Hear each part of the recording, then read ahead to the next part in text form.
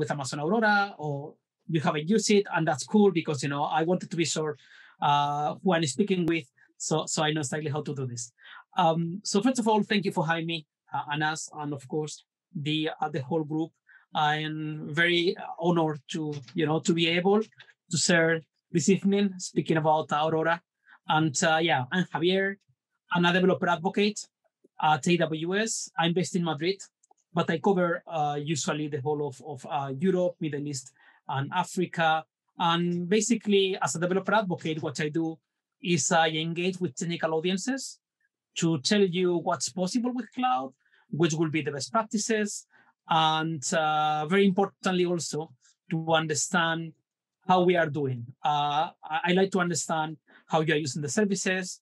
If you are not using them, why you are not using the services, if, if we have to improve them, or those things that you don't like, uh, like things, I don't know. Oh, so I'm not using something because it's too expensive, or it's too slow, or it doesn't have integration with whatever. That's super interesting because at AWS, about 90% of the features we implement are because customers are telling us what they are missing and part of my job is actually understanding what you are missing. Do you have any feedback about the service?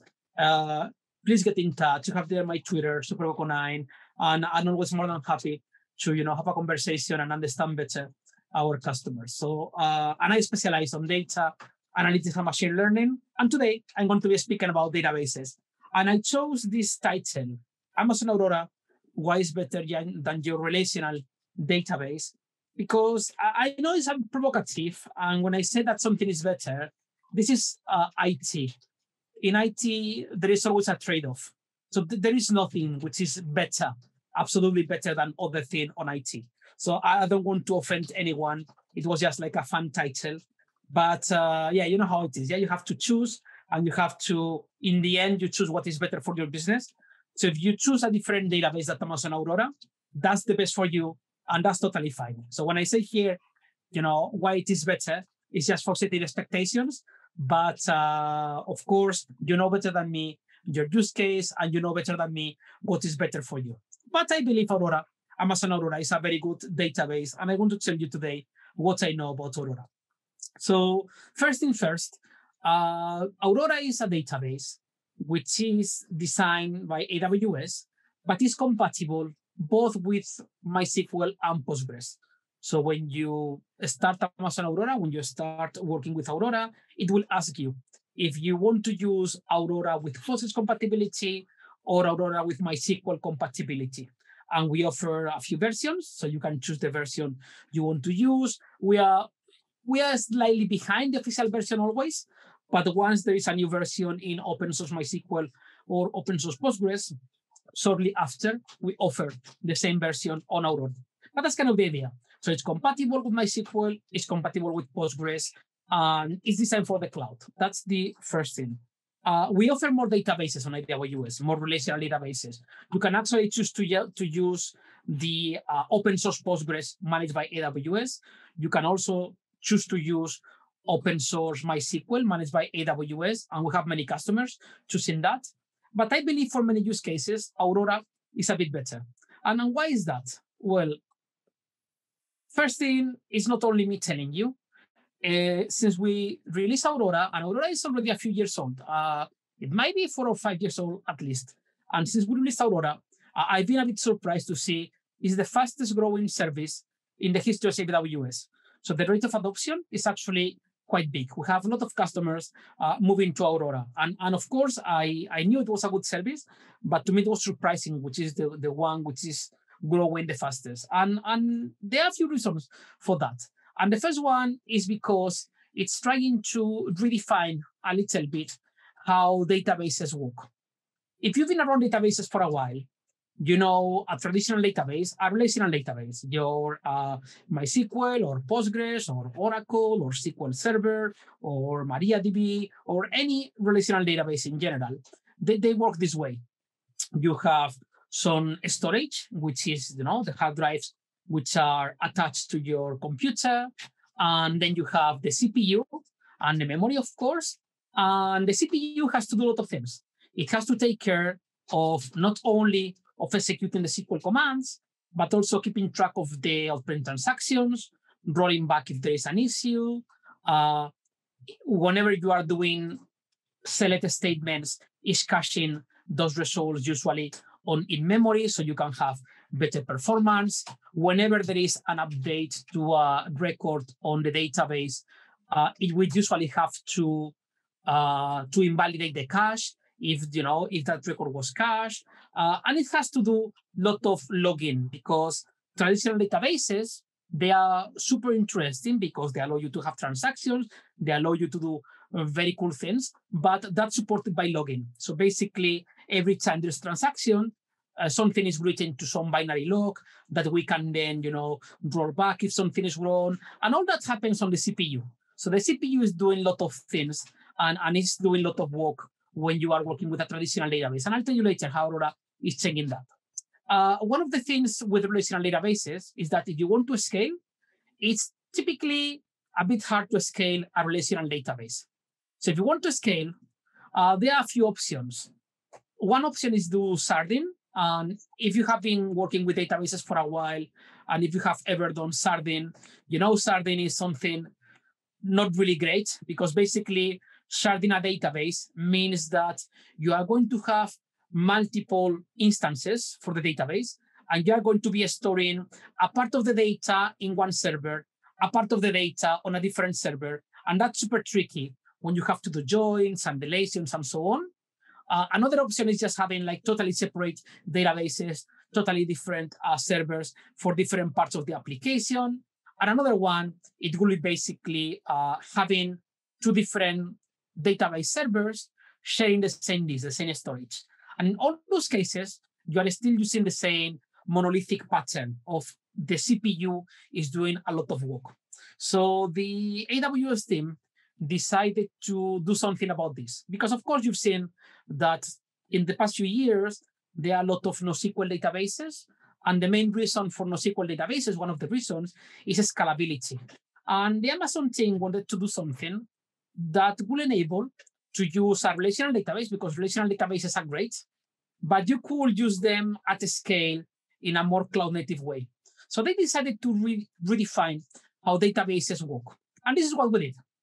So when you create an instance of Amazon Aurora, every time you uh, store anything on the database, when you write any row, any record, is going to be replicated six times on different hard drives.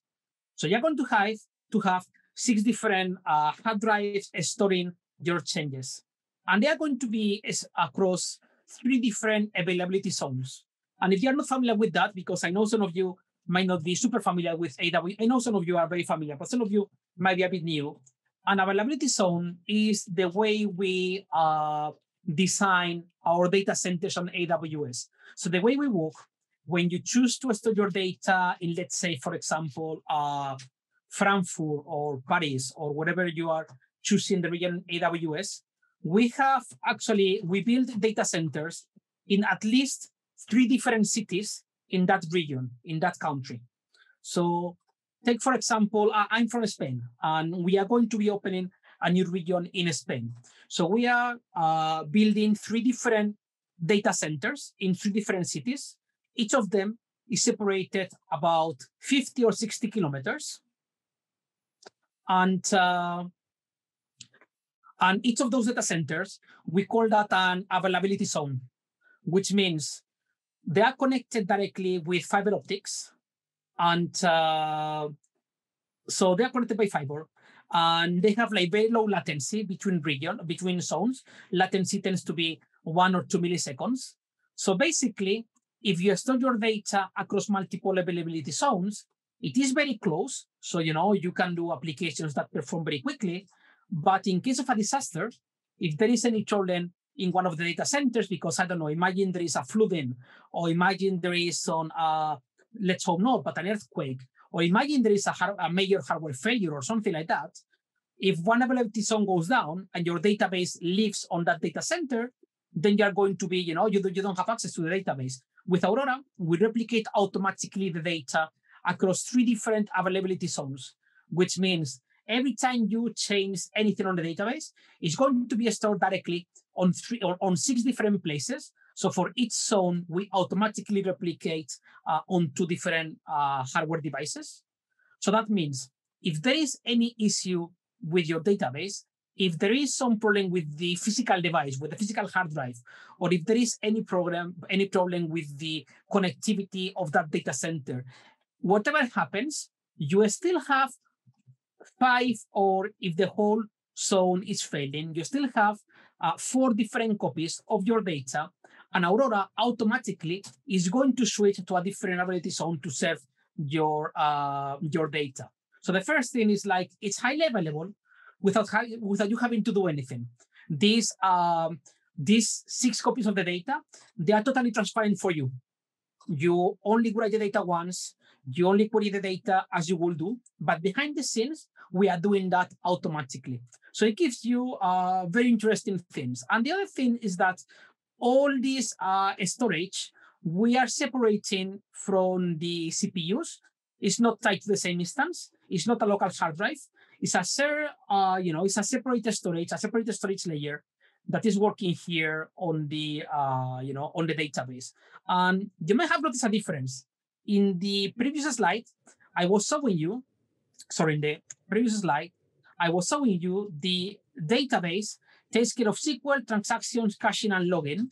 In this particular case, we are moving logging out of here because since we are replicating the data in an intelligent storage tier, the logging happens at this level. So we are offloading the CPU from some work. And it, this will have interesting side effects. But yes, you know, this is the first thing. It's very, without you having to do anything, you get better availability. You can also uh, scale your database in a very efficient way. An Aurora database can have up to 180, uh, 128, sorry, 128 uh, terabytes, which is not too bad for a relational database. So 128 terabytes of data on a single instance, on a single database. And you can create up to 15 read replicas. So you will have always one write replica, only one, one database to write, but you can create 15 read replicas. So you can scale a lot. And since we are, uh, since all the replicas are using the same shared storage that we are replicating automatically, replication is very fast. Usually it's less than 10 milliseconds from the moment you write to the master, from the moment all the replicas are in sync with the master. So you can have a very efficient operation. You can scale quite a bit using uh, Aurora. And it's not only that we are storing the data in different physical devices. It's also that we are choosing to store the data in very small chunks. So uh, something we decided when we were designing the system was to define which was the maximum size of a segment of a page, if you want, of the database. And we choose to store all the data in chunks of 10 gigabytes. Why 10 gigabytes? Because if you have a 10 gigabits uh, link with the database, with the network, and you have blocks of about 10 gigabytes, restoring a block, it takes only 10 seconds. Why is important? Because in the case of a disaster, if there is any problem on the database, since we are storing all the data in small chunks and recovering each chunk can take about 10 seconds, if there is any problem with the database, we can easily restore the whole database in just seconds because we can restore all the small segments in parallel. So basically, when you're using Aurora, what's happening is like every time you write something, we are not only replicating the data to the different hard drives, but we are also doing continuous backup. When you choose Aurora, we are taking a backup all the time. So continuously all the time. Each of these block of 10 gigabytes are being uh, continuously uh, backup. So if there is an issue and we have to recover, recovery will happen in parallel for all the different parts of those uh, small chunks of 10 gigabytes. So it will happen in parallel. So no matter how big is your database, we can back up and recover very, very, very quickly because the trick is we are just writing and reading very small files and we are doing that in parallel. That's kind of one of the cool things about Aurora. We are taking full advantage of the parallelization of the cloud, of the scale of the cloud, and for you it's transparent. So if there is a, a problem, as I, as I told you, on a traditional database, this is what happened. When you are working with a traditional database, your database once in a while is taking what is called a checkpoint, which is basically uh, consolidating on a file on the disk the internal state of the database. And then from the checkpoint, every time you do an operation, the database is keeping a log, a sequence log of all the operations. So if there is a if there is a crash in the middle, the way it works when the database starts again, first is going to read the checkpointed data, and then it's going to apply incrementally all the changes that you have in the redo log.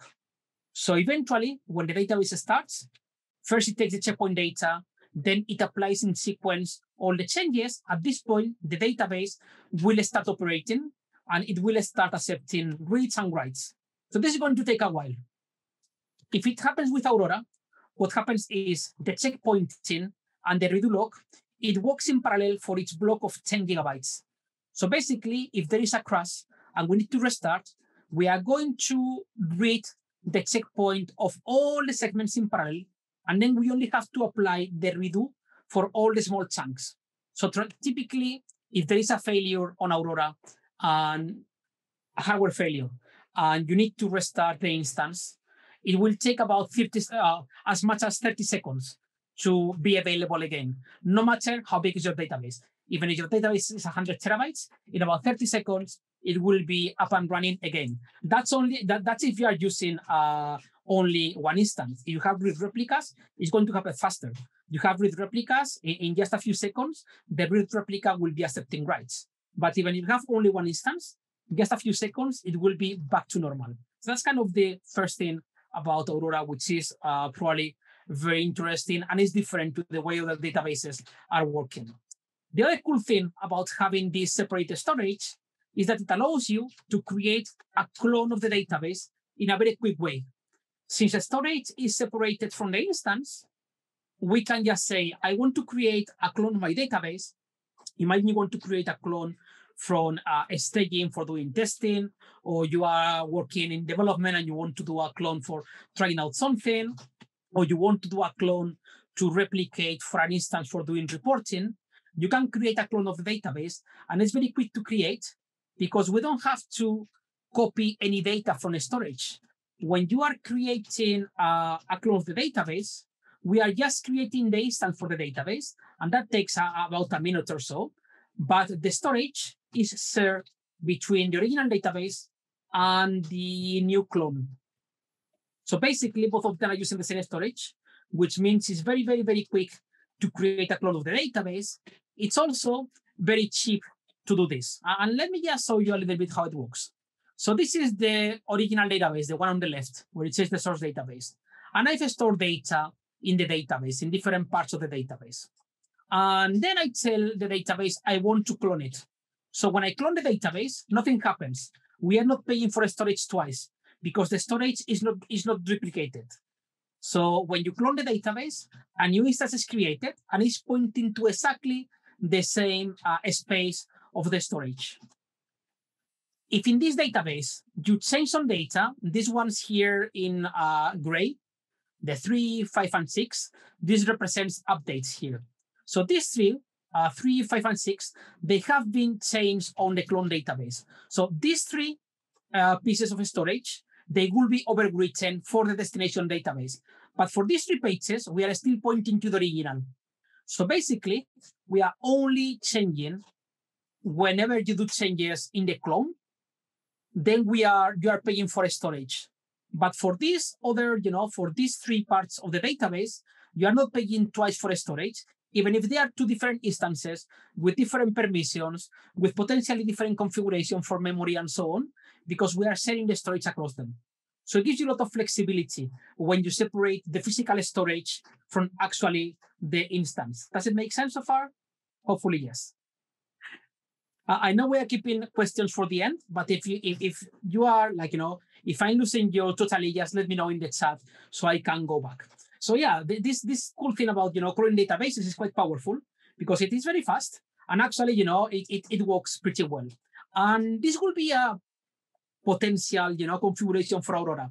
you could have your instance, your unmastered instance, which accepts reads and writes. You could create a read-only replica. As I told you, you can have 15 read-only replicas. And you could also create a clone of the database. So basically, every time you are writing anything to the database, it will be to this storage. The, both the replica and the clone are reading from the same storage. And only if the clone is changing something, then we are, you know, we are adding extra storage only for that clone. But as you know, that's the that's that, that's the beauty of this. That it's we are separating completely storage from CPUs, and we can it enables us to do cool things on reliability, on a fastest recovery, and also on being able to clone a database. And still, there are uh, more things that we can do with Aurora, which are hopefully interesting. I'll tell you a bit more about that, but I want to change slightly the topic. Just with me for a second, because in parallel, I'm running here some tests, and I'll tell you about that later. But let me just, okay, I'm just sending some, some load to the database so we can see later how it's behaving. Uh, and, and there is one thing that we have to be careful when you are choosing Aurora, because I told you that Aurora supports MySQL and Postgres. And of course, as you know, Postgres and MySQL, they have different uh, capacities. So there are some things that you can do in Aurora for MySQL that you cannot do in Aurora for Postgres. Okay, so when you are choosing a database, the things I told you so far, like doing a fast clone of the database or replicating the data automatically, and most of the things about Aurora, they are available both for MySQL and for Postgres.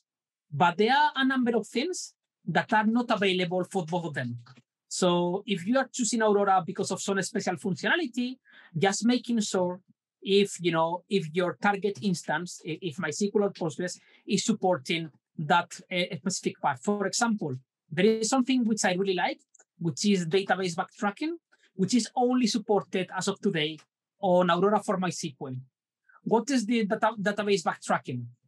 It means that if I want to go back to any point in time of the database, I can do that with Aurora, with Aurora for MySQL, and I can do that immediately without having to uh, restore in a new instance.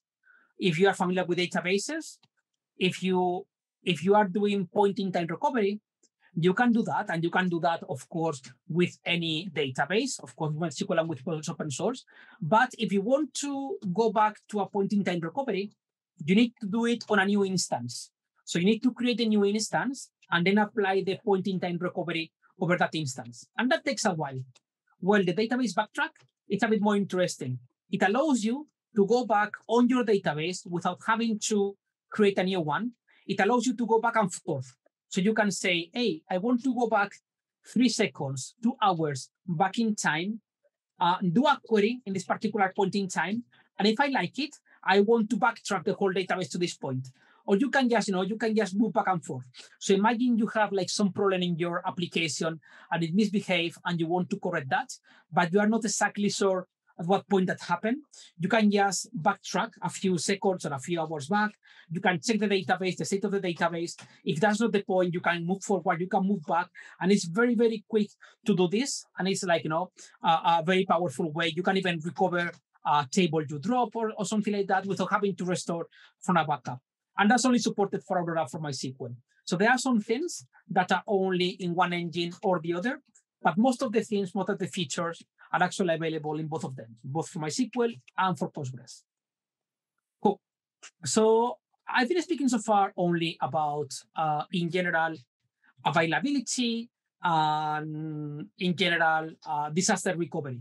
So how you can, you know, how we work from a problem, how you can scale replicas, how you can, uh, you know, clone a database. But what if you actually want to see about performance?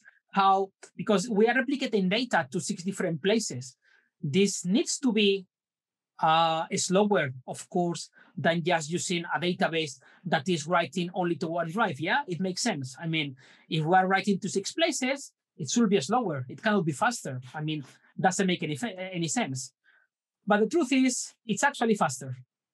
The truth is, uh, if you are using Aurora, you are going to have better performance than using open source Postgres or open source MySQL. And these numbers are a bit old. I don't have the latest numbers, but uh, this is basically the idea. Uh, running, you know, sorry, running Sysbench, which is a standard industry, uh, you know, benchmark, is actually the one I'm running here behind the scenes right now for my testing, okay?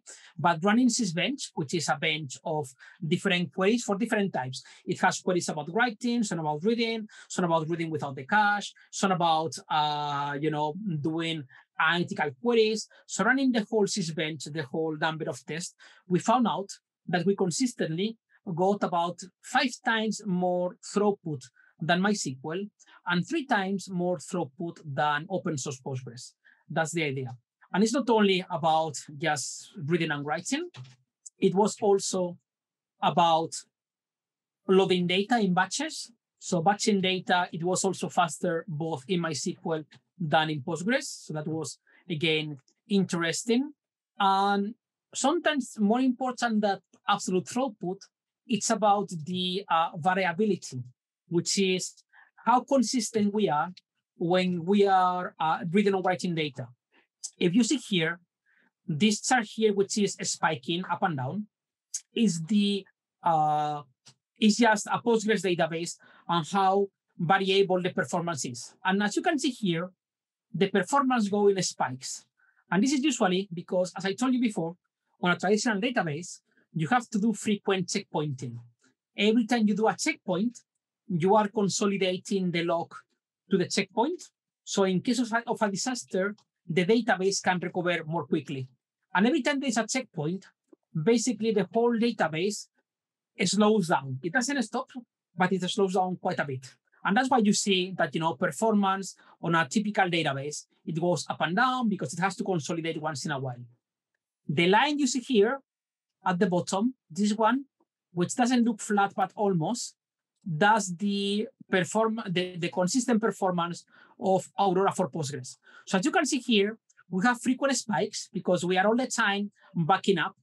But you know, in terms of how constant this is, is quite constant. So it basically means once you decide which size of an instance uh, you are putting there, how many CPUs, how much memory, you are not going to have a lot of surprises. So, you know, it's pretty constant and that's interesting. So we are usually more consistent, 10 times more consistent than open source Postgres and more than 25 times more consistent than open source MySQL. So in terms of performance, that's quite interesting. But but why are we faster? Why is this this way? And, and there are a number of reasons. And of course, some of them are because we rewrote part of the engines of those databases. Some of the changes we sent back to the community because, you know, open source is cool. Some of the changes were specific to our architecture. So we couldn't open source them because, you know, they, they didn't make sense. They only make sense inside AWS infrastructure. But the idea is we are just uh, doing less input and output.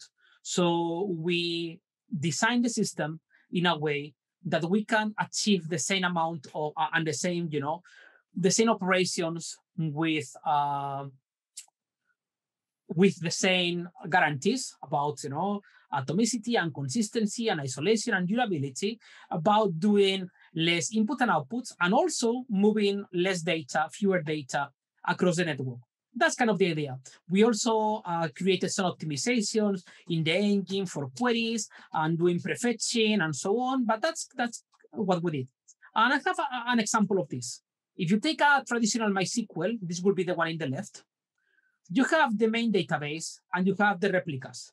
I told you on uh, Aurora, you can have up to 15 replicas. So you have the database and you have the replica. And every time you do a change on your database, what happens is the change needs to go to the hard drive. So you are storing into the hard drive a lot of things, as you can see here. You are storing the data itself. This red arrow here is the data. Apart from the data, you need to persist the binary log, which is the, which is the log we are using to recover if there is any kind of problem. Apart of that, you are, you are also putting the traditional log of the database. Apart from that, on the particular case of MySQL, there is something called the double write, which is the way the engine works, and you have to write the data once again. And also, uh, it has to replicate this data to the instance. So you are not only writing to the to the disk a, a lot of things, you also need to send to the replica instance many things. You need to change the same lock so the instance can replicate all the writes to the database. You also need to change uh, if, if there is like, you know, if you need to invalidate the cache, it needs to also uh, be invalidated on the instance. So you need to communicate the same data basically to the replica. That's how it works. What we are doing on Amazon Aurora, we are only passing between the master and the replicas a couple of things. We are passing just the log and we are passing just the information to invalidate the cache. Why? Because everything that happens on the storage, everything about the binary log for recovering from transactions, uh, storing the data, the primary instance, it only works once, and then replication happens automatically on the storage layer. But we don't have to communicate all that data to the different instances. So the replicas are going to have more power, more CPU to actually do queries. They don't have to worry about, you know, synchronizing absolutely everything because anything to do with storage is automatically uh, synchronized at the storage layer. So basically, replicas only have to worry about the log and the uh, and the cache. So the only thing they need to know is if I have in memory this data, I need to invalidate it. Other than that, I don't have to do anything. Next time I read from the database, I'm going to be uh, reading the latest version of the data, but they don't have to worry about that. And that's a way in which we make it faster.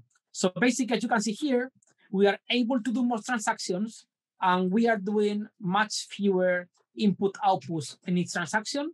And that is one of the reasons why we are enabling uh, faster performance on uh, Aurora. And on Aurora, you can do interesting things. For example, sometimes you want to run uh, queries that are very heavy. Imagine you are doing analytics and you don't want to use a traditional data warehouse because it might be a lot of trouble. Maybe you just want to do some reports and you want to run to run the reports on uh, your SQL database because it makes sense. But some of those queries can be actually very heavy, which means your instance is going to be busy. Uh, the CPU of the instance is going to be busy doing aggregations and, and you know waiting for reads and writes and so on. So something you can enable, and it's an option you can enable uh, on your database, and actually you can enable that query by query if you want. You can enable parallel query processing. So parallel query, uh, what it's going to do is like for queries that are analytical, that are doing a lot of aggregations, that are very heavy on the amount of intermediate calculations you have to do, what we are doing with parallel query is that when you are sending the query, instead of being resolved on the instance, it's going to be resolved directly at the storage layer. So basically, if you tell Aurora that you want to do parallel querying, all the fields of the query or all the filters that we can do at the storage layer, the filters are going to happen directly at the storage. So they are not going to be happening in the CPU, they are directly at the storage layer but not only for the filters, also for aggregations. So in this here, uh, what you see here is that the executor will be basically the uh, Aurora instance, the aggregator, and the web storage driver. All this will be the storage layer. So basically what happens here is we are pushing down to the storage layer a lot of the computations to do those queries in parallel. So as a result, the storage layer is doing a lot of work but your instance, in the meantime, is available to process other things. And only with all, when all the data is already ready on the intermediate layer, then is is uh, is sent back to your database. So what that happens with that, what what happens is like you get very very very uh, fast results in some cases because we are doing things in parallel, and also you are getting the same amount of uh, work with a less powerful instance. And when we tried that, we were pretty convinced it was a good idea. But we had Netflix actually as one of the customers testing this out. So Netflix, they reported this. It's like, okay, so for their analytical use cases, this is not for your everyday query. If it's for a regular query, parallel query is going to be slower. because parallel query, it needs to divide the query in small chunks and so on. But for queries that are slow, that are analytical, in Netflix, they noticed they were getting uh, up to 120 faster results, which is not too bad. In some of the results, in some of the uh, results of the of the uh, of their bench, they were having more than 10 times the speed up for a lot of queries, not for all of them, but for a lot of queries. And actually, an interesting side effect is that since they were getting uh, better performance with the uh, same database, they were able to go from a database which was four times smaller in terms of CPU. So basically, they were getting faster results. And since the CPU was doing nothing in the meantime, they could go to a smaller instance with, uh, you know, with less CPUs. And that means they were saving money. And parallel querying, it has a different price model. So parallel querying, it makes your queries a bit more expensive. But on the other hand, you can use a CPU which is uh, you know which is cheaper. So in the end, it's uh, it can you know it can uh, it can mean that you are going to be getting better performance for the same or less money. The best way to try this is just to try it out. I mean, the only the only thing you have to do is you need to enable parallel querying on Aurora, and once you enable that, Aurora is going to automatically decide if your query is going to be run in parallel or not. That's all you have to do. So if you want to try it out, my advice will be just go and try. If you are not getting any uh, any uh, increase on the performance, just it off. If for your use case you see the performance is better, then do your calculations and see what is cheaper to have parallel query and have a less powerful CPU or keep the same CPU and turn off parallel querying. But that's kind of the trade-off. You need to, you know, you need to test with your real data to make sure this is interesting for you. If you are running analytical queries, it will be interesting. If you are not running analytical queries, you are, you are going to be spending more money. So just try it out and see how it works. And, and a couple of more things about performance, and then I'll move on to a different thing because I know you want to uh, see other things. But something that you usually don't think about is how the cache works on a traditional database. You know the cache is very important. You take it for granted that the cache is working on a database, and, and databases are great for caching. Databases are super optimized for caching, and if everything goes well, most of your queries are going to be coming from the cache, and you're going to be having very, very, very, very good performance. But how does it work? In particular, how does it work in Postgres? So this is how it works. When you have a Postgres instance, this is the this box represents the memory of the uh, database. So when you have an instance, a part of the memory is just used by Postgres and the operating system processes. That's it. You know, Postgres itself needs some memory. Then another part of the uh, of the instance is going to be the shared buffers, which is truly the cache of the database. And you can configure this. You can configure the shared buffers, and a recommendation that Postgres does usually is about 25%, 25% of the memory of your database should be for the shared buffers. And of course, this is not a hard rule, but you know, it's a recommendation. The way it works, then you have the Linux page cache, you know already that when you're working with Linux, Linux itself, the file system, is keeping a cache of the uh, of the files that you are opening. So Linux itself is taking, you know, the cache in memory. So when you are doing a query, what happens is Postgres is going to check first if the data is already in the cache. If it is, then perfect. You know, if it is in the cache, we can return immediately. This is going to be super fast, epic win. What if it's not there? If it's not there, we need to check if it's in the Linux page cache. So it's going to check, is that cache already on the operating system? If it's not there, then it needs to go to the hard drive to retrieve the data. And it's going to be slow because reading for a hard drive, when you compare it for reading from memory, is slow. Even with a fast hard drive, you know, memory is always faster. So it needs to go to the hard drive. It needs to get the results back. It's going to put the uh, data on the cache and it's going to send the data back to the uh, to the system. And actually, there is some duplication. Some of the data that is on the page cache is also on the state buffers. So this and this is uh, duplicated. So in the end, you are using a lot of memory of this instance for things that is not really directly on the cache. Now take the case of Aurora. In Aurora, we don't have this local hard drive. I told you already the storage is in a separate layer. And that layer is taking care of everything to do with the storage, including the page cache.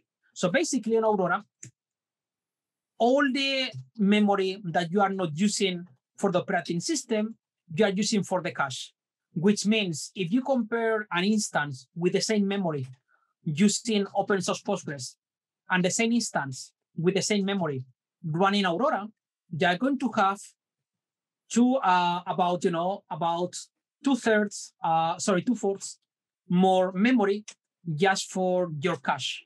So you're going to be able to have better performance with a smaller machine or you know or or just uh, the same performance with a smaller machine depending what you are doing so in this case when uh, postgres is asking for the memory if the data is not in memory it will be requested to the storage layer but the storage layer is completely independent it's not using the memory from the instance so you know you see here when we design this separating storage from computing, we enable a lot of interesting things. But it's not only about the cache. It's only about what happens when there is a crash on the uh, on the instance. If there is a crash on the instance here, okay, and we have to start again, you lose the instance, you lose the memory of the uh, of the cache because in Postgres this is tied together. And when you if you if you only lose the Postgres process, the Linux cache is still there. But the next time you restart the Postgres process, the buffer has already been removed. So next time you request the data, you need to fill the buffer again until you start getting results.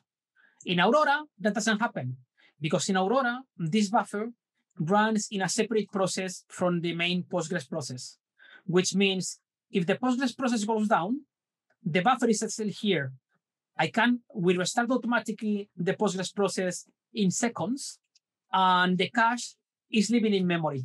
We never lost the cache, which, which means your performance is not going to suffer because basically most of the queries are already there. That's kind of the idea. Okay. It's not only about the being a survivable cache, it's even more interesting what happens when you have a failover? When you have a master, and oh, sorry, a primary, we don't use the, the, the word master anymore, sorry about that. Uh, so what happens if you have a primary and a replica? So we have a primary and a replica. What happens is uh, the primary is here and it's performing very well because over time, most of the queries are already in the cache. But the, if the master goes down, we are going to promote a new replica. And this failover is very quick. This failover can be in seconds, can be in 30 seconds. Okay, but the new replica, it doesn't have the cache in memory. So what's going to happen with the new replica is that since the data is just in memory, until you catch up and until you actually start performing at the same level that you were performing with the old primary, is going to take quite a while. Okay, in this case, uh, and this is for real, I mean, we, we run this test. So in this test, we are recovering, the replica is uh, available in 32 seconds to start accepting writes and to be the new, the new primary, but it takes quite a bit to actually catch up with the, uh, with the cache. So something we uh, added last year was the cluster cache management, which means you can tell Aurora, hey, this is my primary database, read and write. And this is one of my replicas. And this is another of my replica. And this replica has the failover priority of zero, which means this replica is going to be the one that will be elected as a primary in case anything happens with the primary. So what we are doing in this case is every time there is a change in the cache of the primary, we are communicating that directly to the replica. So the replica can is not only about invalidating the cache, it's also about every time there is a new query that is being stored on the master uh, memory. So every time we are adding anything to the cache in the master, we are sending uh, the data. We are sending a, a, Bloom filter. We are doing something uh, quite efficient here, but we are communicating to the replica. So the replica is going to be caching the same data, even if we are not reading that data from here, from the storage. So basically that means the memory of the master of the primary and the memory of the replica, they are going to be pretty much in sync. They might be missing a couple of seconds of replication, but that's the most that you are going to get. As a result, if you enable this, and this is just enabling a parameter on the cluster, this is what happens. Uh, in the new world here, the blue uh, represents the, uh, again, the primary, there is a, the primary goes down. In 30 seconds, we have the replica, and the replica needs to catch up, but it needs to catch up only a few seconds. So basically, it means, you know, in just a few moments, we are up and running at the same with the same performance that we were getting from the primary. In the old case, you can see here, it took a while. So those are kind of the things that we are enabling on Aurora, and that's why I think Aurora it's uh, it's uh, better than many other databases, and it has more things. I don't want to you know to tell you all the details. There are more things. For example, if you want to do global replication, I told at the beginning that replication across multiple zones in the same region it's uh, automatic and including the price. You don't have to do anything about that. But if you want, you can replicate to multiple regions. Imagine you are running your AWS workloads in uh, Frankfurt and Stockholm and Paris, and your primary database, your primary Aurora is maybe in Frankfurt, but you want also to replicate to Stockholm and to Paris because uh, it might be to provide lower latency to customers on those regions.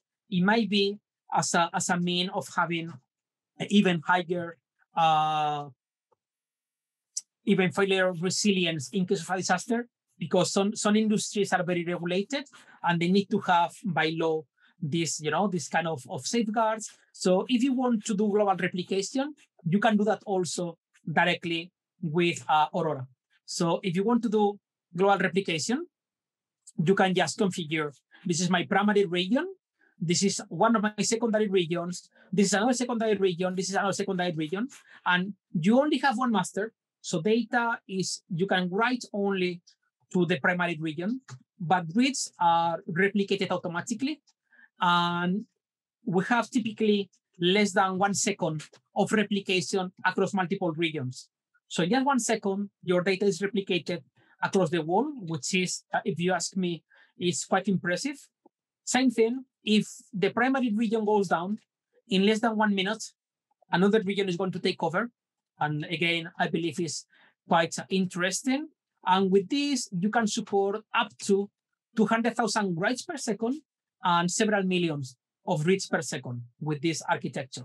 So if you want to go multi-region, you can do that. And of course, it's going to be much more expensive because going multi-region means you are going to have the uh, replicas in different parts, and it means you are going to have transfer of the data across regions.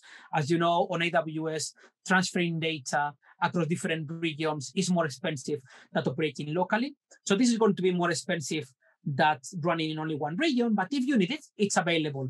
And all you have to do is choose which is the primary, choose your uh, target region for replications, forget about it. It works and you don't have to do anything else. It's automatic and it's transparent for you, okay? We are talking about database in the cloud. Of course, uh, backups and snapshots are by default, and they are stored on S3, which is super durable. S3 gives you 11 nines of durability. It means that it's more likely that an asteroid is falling on Earth that actually that you are losing data because of a hardware failure on S3. So, you know, you are getting good, uh, very good uh, durability and it's, you know, it's automatic. If you want, you can also take manual backups and that also works. So you can do that without any issues. The automatic backups, they have a default retention, but if you do backups by hand, you can store them as much as you want. So you have full, full uh, control how you work with this. You also have full control of working with, uh, of listening for changes on the data. So you can enable what we call activity streams. And every time there is a change on your database, every time there is a, a new a new record or a deletion, but also every time you create a new user. So anytime there is absolutely any change, even if you want, you can monitor even select activities. So every time there is any activity on the database, you can enable the activity streams, which was going to happen is going to send all the activities through Amazon Kinesis, which is a service we have for real time. And from Kinesis, you can do whatever you want with the data. So we are enabling this for industries where you need to have uh, an audit uh, and traceability of everything happening on your database. If you need that, you can actually enable activity streams. If all, if all you want to do is just uh, running store procedures using lambdas, you can do that without activity stream. So you can actually uh, write a serverless store procedure using Lambda, and every time there is a change on the database, you can fire a trigger, and the trigger can be a Lambda function. But if you want to have all the activities from the database, uh, you can do that uh, just enabling the activity streams, and they are automatically uh, enabled. You don't have to do anything else. And one of the things I really like, and I'm going to do a demo of this, is that I told you from the beginning, uh, one master, 15 replicas, blah, blah, blah, blah, blah. And that's cool.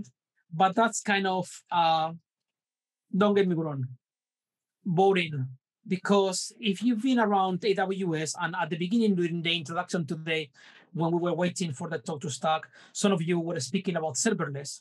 So if you are doing serverless computation, you probably are used to tools like uh, DynamoDB, which allows you to truly, uh, uh, it's a truly serverless database.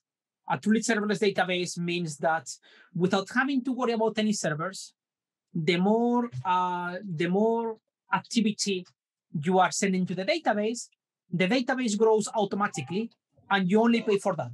You pay only for the activity you have on the database. You don't need to think in advance if I need one replica or three or 15. If I want to have, you know, uh, if, if my users are coming uh, on Monday morning and then leaving on Monday evening and then again on Wednesday, how I do this? How can I scale those things? It's not easy to do those things. And don't get me wrong, with traditional Aurora, you you can enable auto scaling. You can tell Aurora, I want to auto scale, and you can tell Aurora, I want to go from one replica to three, or to four, or to 15. And it's going to automatically monitor the activity and it will add and remove replicas automatically without you, without you having to do anything. You only have to configure the auto scaling. But adding a new replica or removing a replica is going to take minutes. Okay, so it's not ideal. That's kind of the thing. So you can enable auto scaling in Aurora and it works. We have, we have something better. We have something called Aurora Serverless. And Aurora Serverless, uh, we have the version one, which is the one you still get if you go to AWS. But we announced recently, we announced in December, Aurora Serverless version 2. And I already have access to the preview version 2. So version 2 is not available for everyone. Uh, it's only available right now in, in one region in the US. It will be uh, in the next few months, it will be available for everyone. If you want to, uh, to use Aurora Serverless version 2 because you know because you really have the use case you can actually request that you can actually go to uh, to the page of Aurora Serverless and you can request to be part of the preview i not sure if i can show you here because i'm already logged in uh, i cannot show you the, the the button for the preview i actually can do that i can just open an incognito window Amazon Aurora serverless version 2. So let me just, yeah, yeah, Google, I know you are spying on me. That's okay. So, uh, here. So you can go to the announcements of Aurora serverless and you can actually fill in this form. And you tell us which is your AWS account, you tell us what your base, blah, blah, blah, and how you're using AWS, and hopefully you'll get invited to the preview. I was invited to the preview exactly 15, I, I, think it wasn't even 15 days ago. So it's been less than two weeks since I have access to Aurora Serverless version 2. And I want to show you today how it works because I think it's super cool. So uh, from the beginning of today, from the beginning, uh, actually during the afternoon and during this talk, I've been sending workloads to three different versions of Aurora. Here at the bottom, this one you see here, this is traditional Aurora. This is just the Aurora I've been telling you about the whole day. It's an instance, it's just a, a, a master, and I've been sending some data. And the last run I've been doing, I've been sending about 2,000 events per second, which is not too much. Eh, it's, it's only writes. I'm not doing here reads. I'm just writing data.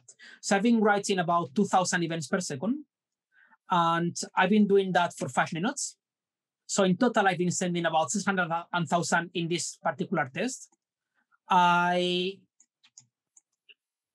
here the results. So basically, the uh, percent for the 95 percentile, I was getting 360 uh, seconds of latency, which is not too bad. And that was with traditional, uh, you know, I actually am going to start another test again now. And this was with traditional Aurora. This is with Aurora Serverless version 1, the one I have here. And with Aurora Serverless version 1, I was uh, sending events. It was performing better. It was not within 2000 per second. In this case, I actually scaled quite a bit. So it was actually within, in this particular uh, test, it was writing uh, almost 9,000 events per second. So in the end, in five minutes, I was sending more than two millions and a half of events, writing events. And the 95 percentile was 90 uh, seconds. And I'm going to run this test again while I'm you things. And this is Aurora serverless version 2. It was also about 8,000 uh, events per second. And the percentile was the lowest of all of them, which is interesting. But apart from this, I want to show you actually the monitoring, which I think is super cool. So here I have a CloudWatch uh, monitoring with, with my Aurora. And I'm going to show you this chart. Oops, I want to edit this. So let me show you what this means. First things first, as I said, I just got access to this literally a few days ago. So you can see here on this chart when I got access to the preview. so yeah, you can see here, it was on the 17th of February. So this was the first day I got access. So I was trying it. And you can see here, I've been doing a few demos these days. so in the past hours today, I've been doing actually a few things. And I want to show you how this works. So let me just first remove everything. And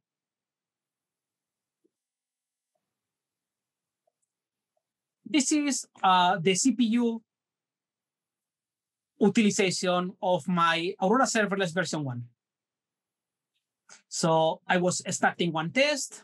It was for five minutes. Then I will stop. I will start again. I will stop. Here I was starting again. And here it was starting again, stopping, starting again. Now I just start another one. So this is kind of the, you know, the CPU utilization. For serverless version 2, I was doing pretty much the same. So I was running the test almost in parallel.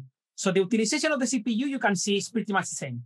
I'm using the machines, then I stop, I start, I stop, I start, I stop. But now let's see how Aurora Serverless was adapting. So serverless version one, the one you have right now on production, it was working like this. It's the green line, okay? So I was starting the CPU and it was slowly catching up. And when I say slowly, it is slowly. It, it took a while to actually, you know, so you see the shape of the CPU. So at this point, it was already up to capacity, you know, to what I needed. But at this point, actually, I had to stop sending uh, requests and Aurora was still scaling up. So at this point, I stopped sending requests. And Aurora was at the maximum for a while. And then it decided, oh, I don't have any requests anymore. I'm going to start scaling down. And then when I started sending requests, as you see here, it took a while to catch up. So it's serverless. You don't have to worry about that. You only pay for the capacity, but it's lagging a bit behind. Now, let's see the difference with Aurora Serverless version 2. So this blue line is, I want to remove the V1 so it's easier to follow. So this is the CPU for Aurora Serverless version 2 and how it's adapting immediately. I have more CPU, I'm getting more capacity for the database. When I stop, database is not growing anymore. When I stop sending data, database almost immediately stops. So that means I'm not paying extra. I'm just paying for exactly what I need. When I get data in seconds, I get extra capacity. When I don't need data, it stops. I'm not paying for that because what's the point? So in the past, we were already offering serverless, but we're not able to react so quickly. We were a bit more conservative. We changed that. We invested in making that better. It's not only about uh, being able to scale, it's also about the latency. So let me just show you this one, this set of latency. The provision Aurora is the Aurora, you know, the traditional Aurora I, I will, uh, come on, chart. So this is the traditional Aurora, the blue one, the provision Aurora latency. The serverless version one is the spiky line, and the serverless version two is the green line. So as you can see here, the version one of serverless is always, it has a bit more latency than the other ones until it catches up. Basically, serverless version two it has very low latency. At some points, it's slightly worse than provisioned, but there is a trick here. And it's accepting more writes. So latency is a bit bigger, but at the same time, it's doing much more writes. I told you in uh, traditional Aurora, we are doing about 2000 with this machine, about 2000 writes per second. But in serverless version 2, I'm doing about 8000. So I'm accepting four times the throughput with only slightly more latency for, for four times the throughput. And the throughput is here. You can see here, the blue line is the traditional Aurora, and the green line is the serverless. Okay, so I'm, I'm accepting much more capacity, much more writes, actually with, so I'm adapting better. My customers will be able to access the page, latency will be under control, and I don't have to worry about any databases. It just goes up and down when you need it. And the version two of Aurora Serverless, it has parity in the uh, features with traditional Aurora. If you were using Aurora Serverless version one, there were a lot of trade-offs. In version one, you couldn't do fast clones. In version one, you couldn't use Lambda. In version one, you couldn't do parallel queries. In version one, you couldn't do many things. In version two, Aurora Serverless version two, exactly the same you get in traditional Aurora, just serverless. So depending on your use case, if your use case is a very constant workloads, traditional Aurora is perfect. If your use case is like a spiky data, serverless is perfect. So it really depends what you want to do. You want to use one or the other. That's kind of the uh, idea. And just to finish, because I know we are already approaching the time, this is a chart so when you know how it scales, but I saw you a bit better. So I just wanted to tell you one more thing about Aurora, which is super cool. You can actually run machine learning directly from SQL. So if you have trained a machine learning model on Amazon SageMaker, our, our uh, machine learning solution, you can directly from SQL, you can run a query which is going to pass parameters to the model and give you the, the, the prediction.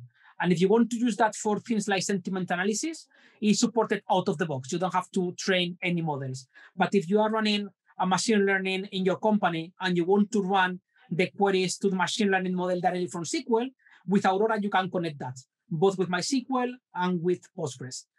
Uh, if you want to learn about the internals of Aurora, you have a lot of information here and that blog post. I, I can actually copy and paste that if I can.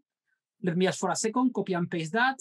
So if you want to learn about the internals of Aurora, that's a blog post we uh, wrote when we launched the service.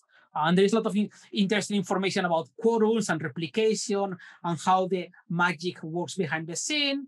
But yeah, that, that's pretty much it. I, I hope you saw why I'm very excited about Aurora and why I think it's better than many databases that are super cool, don't get me wrong, but they are not designed for the cloud. So we believe this is the proper first fully uh, compatible SQL database that takes full advantage of a cloud environment.